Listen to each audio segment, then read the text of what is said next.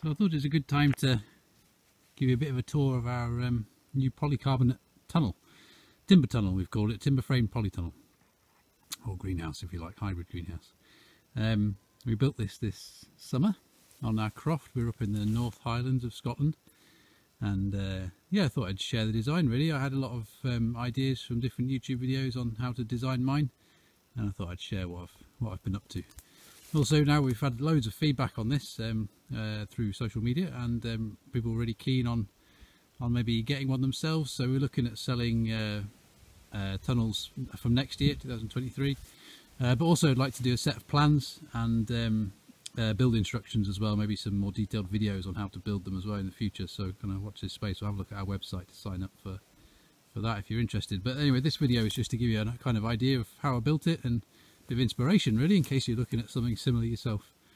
Um, so it's the whole point of it for me was that we we live in the, the North Highlands of Scotland. It's really windy up here sometimes in winter particularly, and a normal polytunnel just doesn't cut it. This year in particular, we had loads of polytunnel disasters all over the Highlands. So if we were going to get one, we wanted to make sure it was strong enough to withstand the um, the wind and the rain and, and yeah, pretty horrendous conditions we get up here.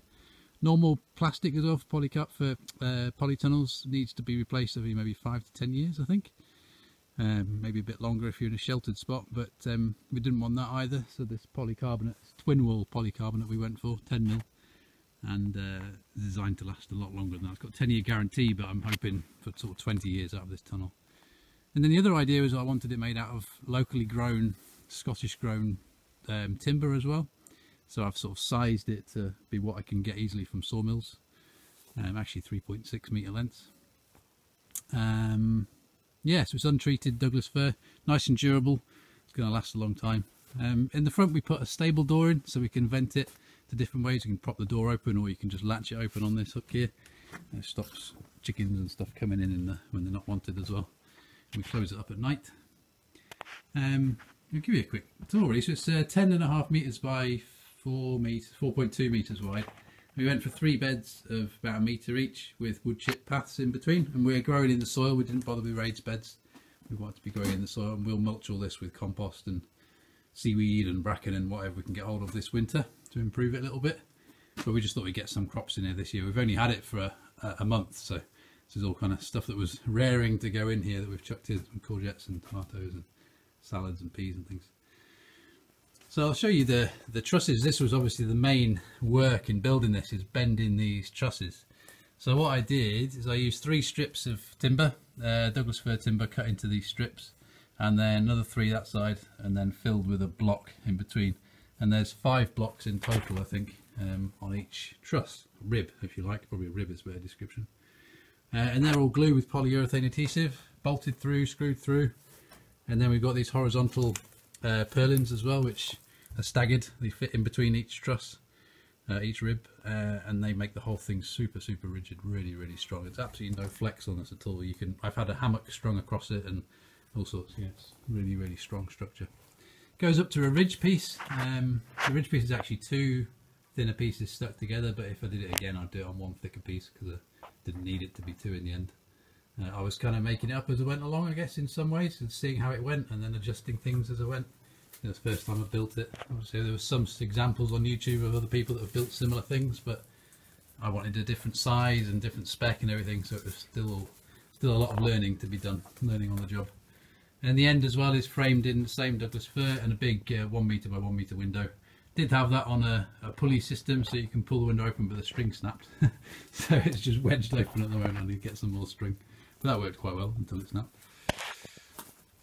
Um, yeah, what else to say really? The big, the bottom is is a big uh, six inch, so 150 by 50 Douglas fir beam that goes all the way around. So it was the main thing is to get that level before you even start, level and square.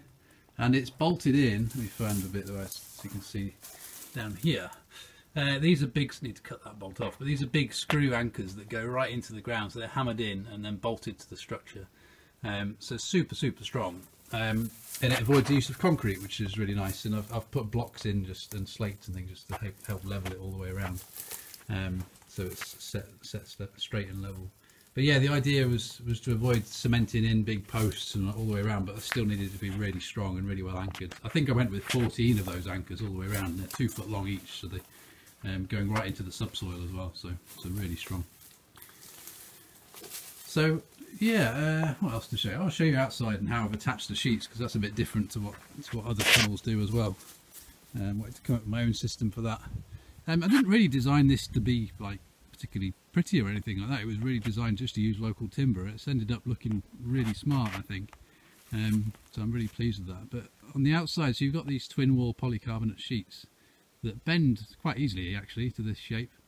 Um, and they go up to a ridge piece there. The ridge is timber um, and then I've put a, a, cap on top of that to shed the water off. That works really well.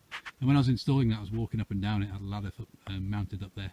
It's really strong. You can easily walk up and down this tunnel. There's no flex at all. So that was a good test, and I'm pretty convinced it's going to last well.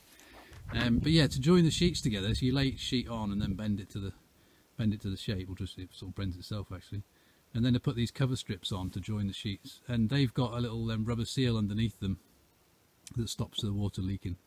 So I thought I'd do that. It was um, just a kind of simpler design really than buying the the normal cover strips you get and the joining strips you get for these sheets which are expensive and also mean it's very difficult to replace a, a panel if you ever needed to if there was a breakage or something like that. The tree came down on it, I don't know. Something like that. Um, our site was really not very level. we were on a hill um, so I had to dig this out, which is why these sort of diagonal braces you can see are there, um, not for support.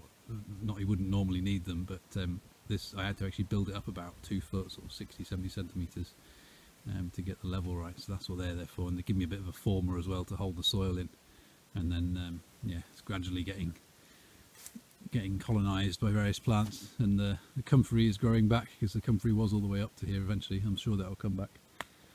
Um, yeah, that's about it really, all to show you. But I say, if you're interested and follow us for updates, it looks like we're going to be doing a lot more of these in the future. So have a look at the website and, and I hope to get plans out uh, by the end of the year or early next year. And then maybe starting to sell kits into next year as well, 2023. So, so have a look at that. Alright, thanks for watching. Cheers. Bye.